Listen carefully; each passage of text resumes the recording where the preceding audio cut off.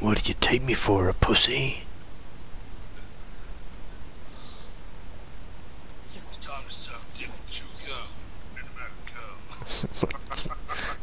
Good, good grief. Might have to quote that.